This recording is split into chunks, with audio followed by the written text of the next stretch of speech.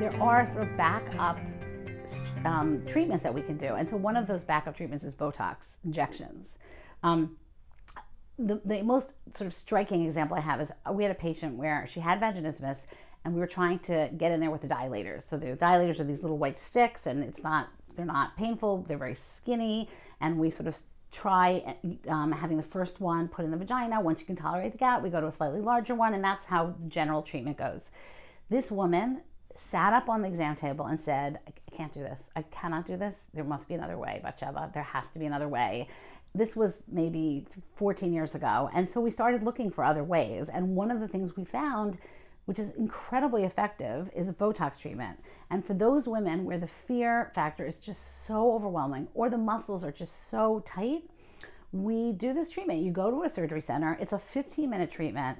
They put you under conscious sedation, so you don't know what's going on, but you're not actually out with anesthesia. But for all intents and purposes, you're out. Once they're under that um, anesthesia, um, Dr. Werner, the urologist, goes in. The introital muscle is this little muscle. It's tiny. It's like sort of like a ring, and but you can see nothing can kind of get through that. And he just pulls on the muscle. The muscle just gives once the, the patient is relaxed, and then he injects up and down the vaginal canal. He injects Botox and he injects lidocaine.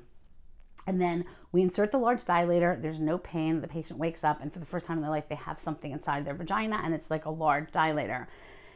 They're very relaxed from the Botox, and um, and they realize they're not feeling anything, and it's like it's it is life changing.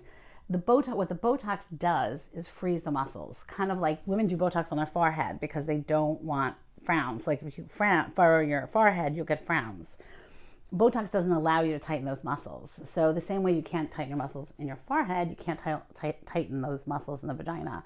And so it gives the patient six months or so while the Botox is working, um, where they can't tighten those muscles. And so the women who do the Botox, it's not like a magic bullet. Like it's not like the next day they're comfortable throwing things in and out of their vagina. But it helps them jump over those first few steps of panic and fear and knowing that they can get something in and knowing that there isn't pain and it's incredibly successful. So we do do in the cases where the general dilator work doesn't doesn't work or it's too scary, we'll go to Botox. Or we have women coming, I would say all over the country, but actually all over the world, who can't be here for the six weeks or eight weeks to do the general um, dilator work. And so they'll come in for just a few days and have the Botox treatment done, and they go home and they continue to work on their own. What you'll find when you're dealing and struggling with sexual issues is that you can go to a doctor and the doctor may be able to fix a problem or may not be able to, but what they won't do is look at the broader picture. And so having all of these professionals around dealing with people who deal with trauma, people who deal with sexual abuse, people who deal with couples, um, having all of those professionals around you makes the process so much more likely to be successful.